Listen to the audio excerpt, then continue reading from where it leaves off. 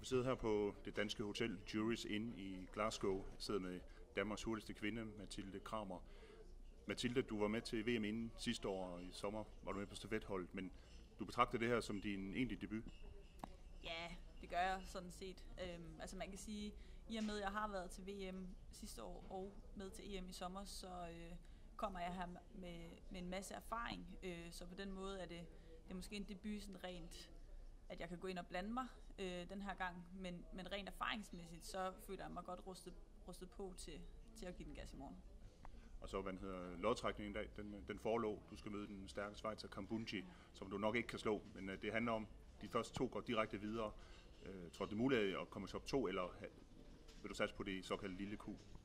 Altså det er faktisk de første tre, der går videre. Øhm, så, øh, så man kan sige, at Schweizeren hun er nok rimelig øh, sikker, så der er to kurer, som vi andre skal slås om.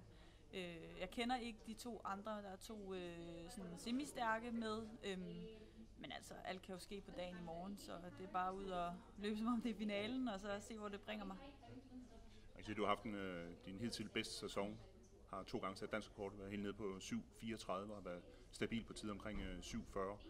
Øh, hvor store er chancerne for en dansk rekord i morgen? Du satte jo dansk rekord ved VM inde. Ja, altså øh, jeg er god, når det gælder, øh, og jeg er velforberedt, øh, og, og jeg er i form til at løbe endnu stærkere. Øh, så jeg håber, at jeg rammer et godt løb i morgen, øh, og sætter en dansk rekord, som forhåbentlig bringer mig videre til en semifinal.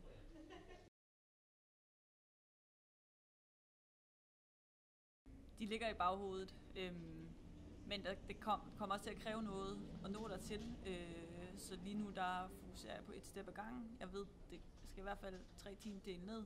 Og hvis det bliver med World Rankings næste år, så skal jeg ikke kun en gang ned i det tempo der, så skal jeg, øh, skal jeg være, ligge stabil dernede. Øhm, så først og fremmest så fokus på at, at blive bedre. Der kan man tage starten med den danske rekord, ikke? og så EM-krav til 2020 i Paris. Øh, og hvis det udløser en OL-billet, så siger jeg ikke nej tak i hvert fald.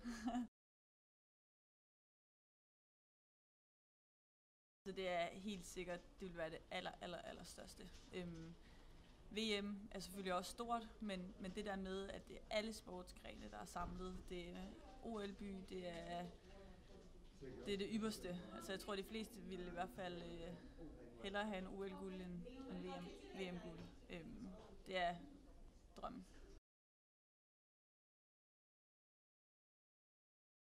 Øhm, jamen, sådan, hurtigheden havde jeg allerede i folkeskolen. Øh, der var jeg bare glad for heste og gymnastik. Øh, og først senere, da jeg startede gymnasiet, øh, begyndte jeg at lave atletik.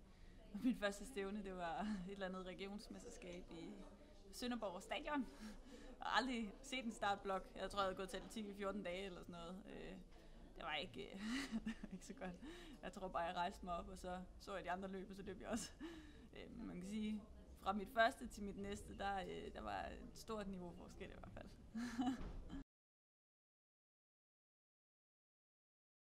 Paul han har været med fra day one, øhm, og har været der gennem, gennem alt, øh, også efter nu her, hvor jeg... Nu det, han flyttede ikke til København på grund af mig, men det passede ligesom at, med, at at vi flyttede til København samtidig, og har ligesom kunne være en del af rejsen efterfølgende. Og det har, altså det har betydet rigtig meget, at, at man, man har en træner, der man har gået igennem tygt, tygt og tyndt med, men også en, der, der kender en. Altså sådan rigtigt, at man ikke skulle starte op med et nyt bekendtskab.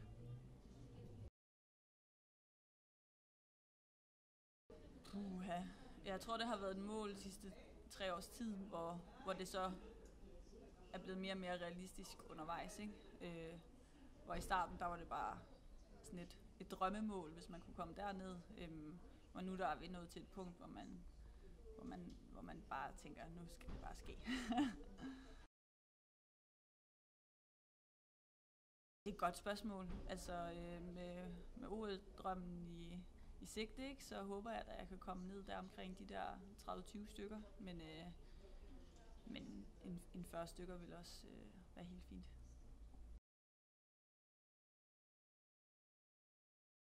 Ja, altså man kan sige, øh, jeg startede jo ud af ingenting. Øh, jeg var ikke særlig veltrænet, da jeg startede.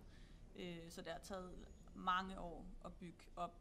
altså bygge den træningsmængde op, som jeg, jeg har bag mig nu. Og først lige i år begyndte at træne seks gange om ugen. Øhm, så jeg, jeg føler, at der er mere, vi har flere knapper at trykke på stadigvæk. Øhm, så der er plads til, til udvikling. Jeg satser ikke på, at jeg står stille endnu i hvert fald. Altså, vi arbejder meget med min sprintudholdenhed. Det har taget mange år, før jeg har, har kunne gennemføre min intervallpas, især på grund af skader og så videre. Øhm, jeg kan også stadig blive meget stærkere.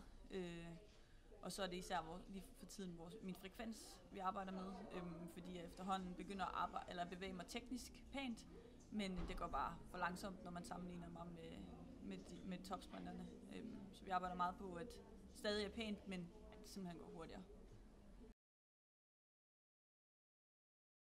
Jamen, jeg regner med, at jeg står op øh, klokken 7 i morgen.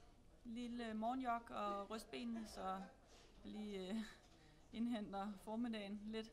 Jeg skal jo allerede løbe kvart i 12 øhm, øh, skotsk tid, så, så jeg skal tidligt i gang. Øhm, så jeg regner med ja, klokken 7 og så noget morgenmad, så tager vi tidligt på stadion.